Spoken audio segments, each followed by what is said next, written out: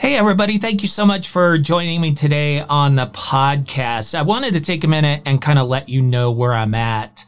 Uh, in my life right now and apologize for not posting. I know I haven't done lives for a while. Uh, I was going to be posting every single day, the JMac news attack, the best laid plans, right? Um, but some things have happened in my personal life with my employment and my day job that have caused me to change gears. Now, I don't want you to worry about me. In fact, many of you have been emailing and texting me saying, Hey, Jay, is everything all right? And I can't tell you how much I appreciate that. I love that you feel like we're friends. That's how I feel. And for you who have spre- expressed your concern, thank you so much.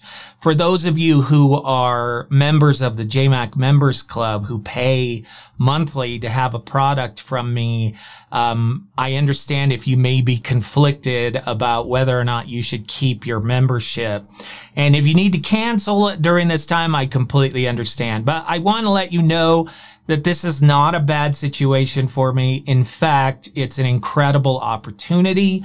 I'm going to be going into business with a partner of mine and I believe that it's really going to be a great situation. And in the long run, it's going to allow me to focus more on this podcast and really produce the product that I've always dreamed of providing for you, but I just haven't had the time and the ability to focus. But all that being said, over the next four weeks, I'm going to be heavily involved in the setup creation of this new entity. And I've actually got to go and get some certifications. And so I'm going to be spending every hour of my day preparing for these certifications. I'll give you an idea of what it is coming up. Um, but I want to make sure that I have all my ducks in a row before I share it with you. So the next four weeks, I will still post when I can.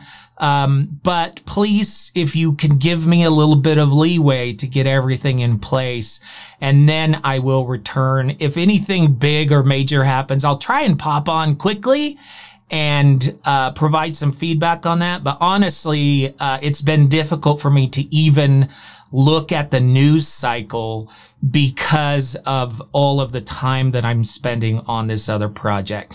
So we'll kind of uh, call it maybe an early summer uh, hiatus but please know I'm not going away. My long-term goal is to provide an even better and in-depth product.